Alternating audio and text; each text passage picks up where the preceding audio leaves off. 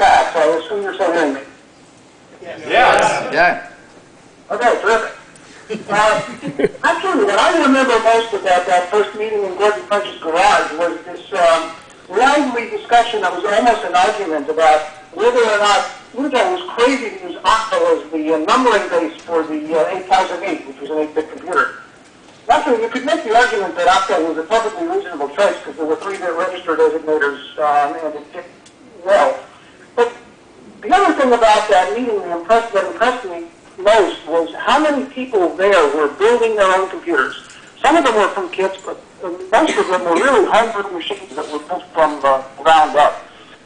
Uh, based on that, it was pretty clear that there was enough interest to have more meetings. Uh, Frank Rothicker, who was another uh, SLAC staff member, and I arranged uh, at that point to have the next few meetings in what uh, SLAC calls Orange Room in their Central Lab Annex, which is a pretty small conference room.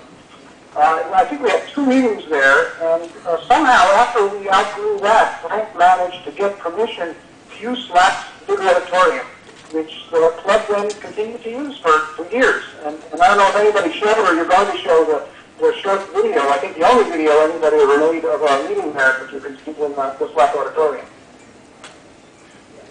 SLAC actually didn't know what they were getting into, but, but they were uh, pretty tolerant. Um, one of the rules that they had to enforce because uh, they're, they're government funded is that you do no commercial business. You couldn't buy and sell anything there. Of course, them establishing the rule didn't stop it. It just moved it into the parking lot of the Shannonite Shopping Center.